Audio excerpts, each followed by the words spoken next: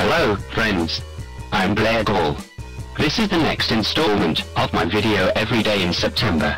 Today's topic, which I find to be an off their Mets moment, is animal shaming. You know animal shaming. It is a new thing on the internet.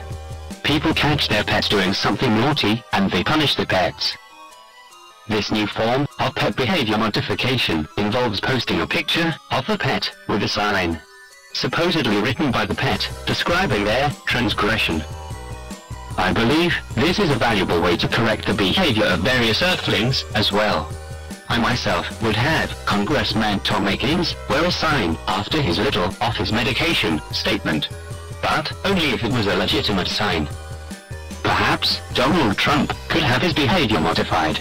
I would make him hold a shaming document. Namely, his birth certificate.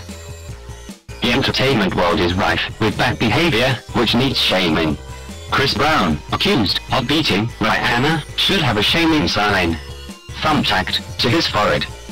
Sadly, after much thought, I cannot think of a good shaming for Justin Bieber. Perhaps he should hold an album cover. That is shameful enough. Thank you for watching. Be good. I nearly didn't have a topic for this video, and prepared my own shaming sign.